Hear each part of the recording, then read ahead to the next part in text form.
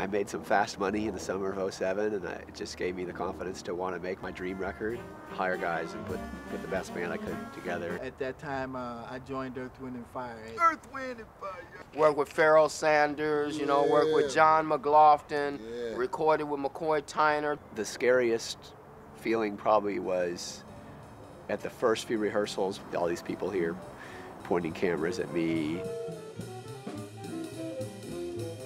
Yeah, yeah, yeah, I want to hear it because I want to understand. Yeah, I got to hear what it is. All right, roll. It'll, it'll help us to do it better. Trust me. Trust me. We should move on. I'm not. I'm not.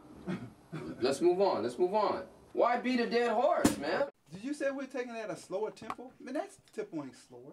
In May, we played one show. The first tune I get up and start playing, and my neck falls off the horn. Michael Session held up, us up for three hours because he had a flat tire. Then he gets there and absolutely plays his ass off.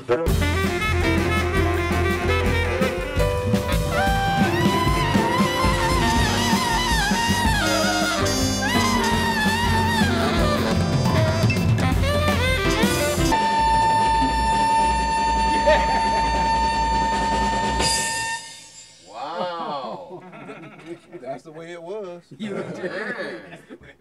All right, man, let's go ahead and really do it. Yeah. We'll do it again. So, uh, Now, we, now, we turn the mics on. Turn the mics on the next time, man. yeah, right. Yeah, that was okay. All right. Okay, now we're going to try to do it now, y'all. Yeah, right. That wasn't.